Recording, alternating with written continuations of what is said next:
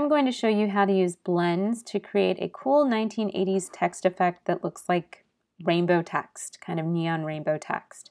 So we're going to get our type tool first and we're going to draw a text box by clicking and dragging across our document. You want a pretty big um, font here and you want it to be very simple. So Futura, Helvetica, Arial, all of those will work. I'm just in Futura and I'm to type something very 80s, totally rad. In fact, I'm going to type that again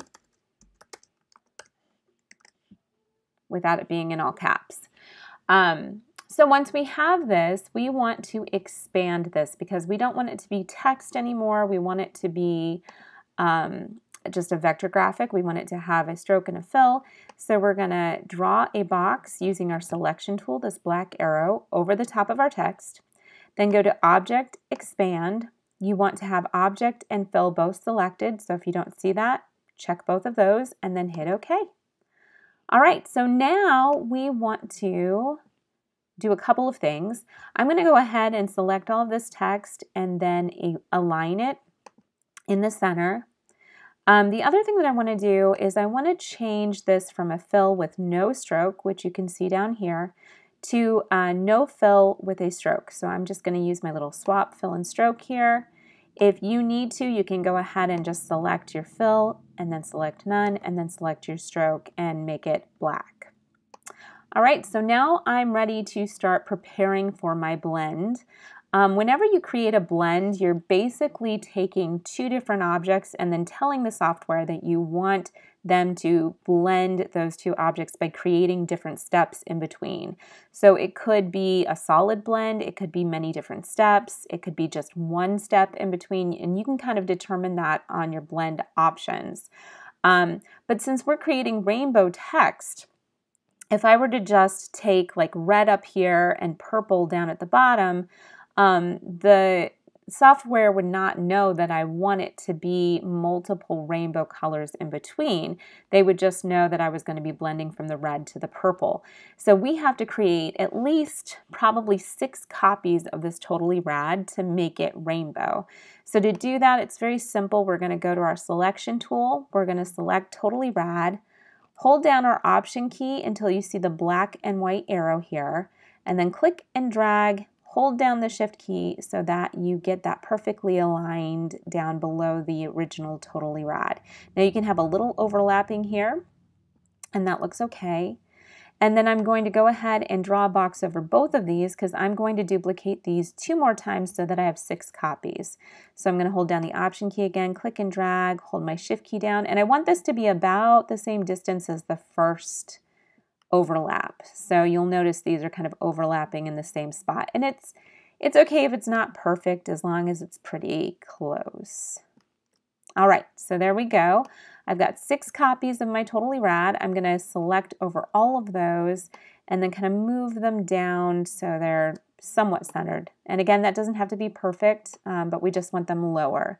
The last thing we're going to do is go to the top Totally Rad here, hold our Option key down, and just copy one more of these out and kind of leave it by itself up here at the top. Okay, so now we can start coloring these and because it's going to be a rainbow, we're going to start here with our colors and choose red. Now the one thing you want to make sure before you start choosing these two is that your stroke is on the top of these two options here, that you don't have your fill on the top, that your stroke is overlapped here.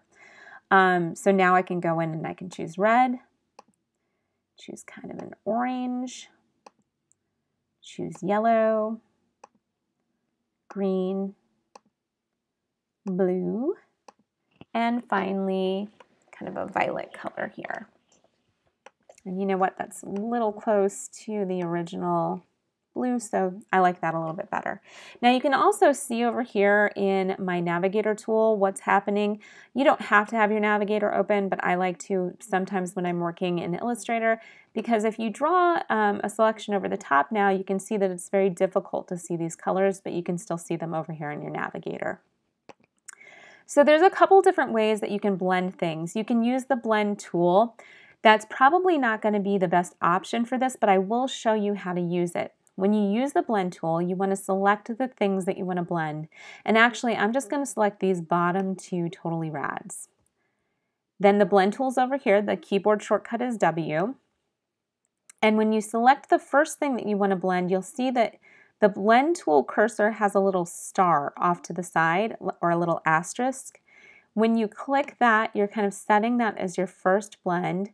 And then you'll go up to your second blend object and there'll be a little plus and you'll select that and a blend will be created in between those two sections.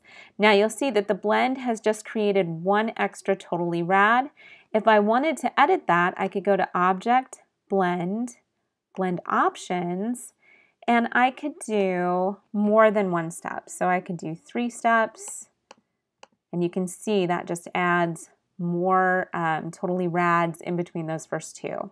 I'm going to go ahead and hit cancel and then do a Command Z uh, a couple times to walk this back because the best way of doing a blend for something as simple as this, where I have all of these totally rads perfectly aligned, is just to go through my menu.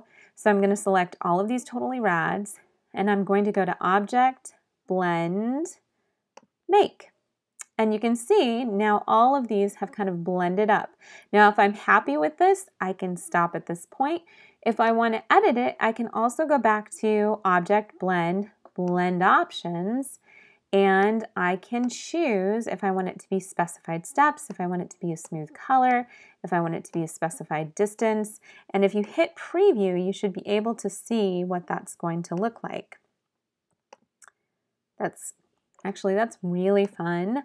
I could go into my specified steps and increase those. If you uncheck and then recheck your preview, that will allow you to kind of see what you're doing.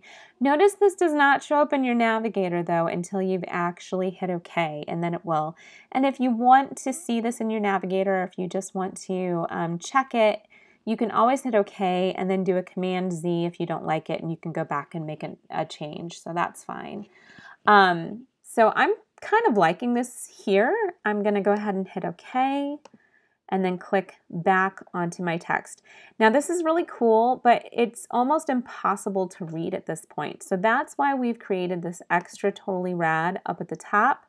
Um, with this, we want to go ahead and add a fill as well because we're going to pull this on top of our original text and we do not want to see through this because we want it to kind of be that first word that everything else is kind of radiating out from.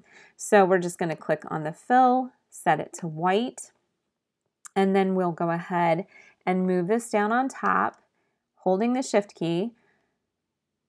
We can even do that. Now the only problem here, it looks like we don't have a fill, and that's just because this totally rad is on the bottom of all of these other objects. So what we need to do is go to Object, Arrange, and Bring to Front.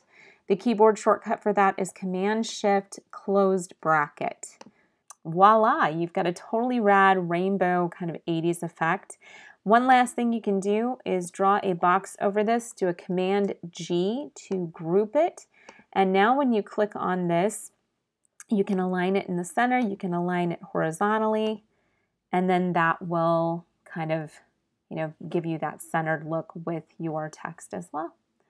All right, enjoy creating some rainbow 80s text.